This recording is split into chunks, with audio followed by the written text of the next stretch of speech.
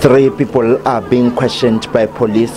This follows the shooting of three anti-stock theft members in Qwaqwa. Two of them have died and one is still fighting for his life in hospital. Our main challenge here in our area are people who are coming from Lesotho. They are stealing our cows and they are armed.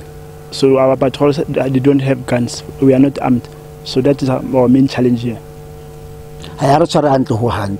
We are hurt. We have lost our members who are the patrollers and they were doing a good job for the community.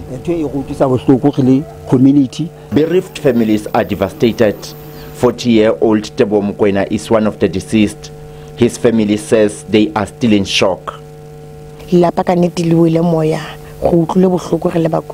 family has lost hope.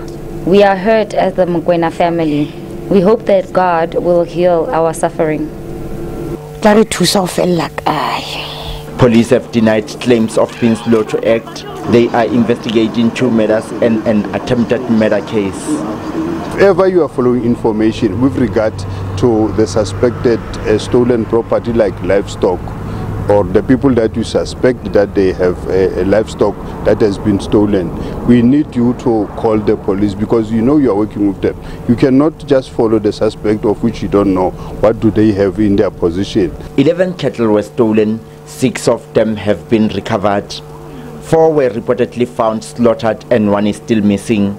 Stock theft across the Free State costs farmers millions of rands annually. Kwanelo le Legafola, SABC News, Bolata, Kwa.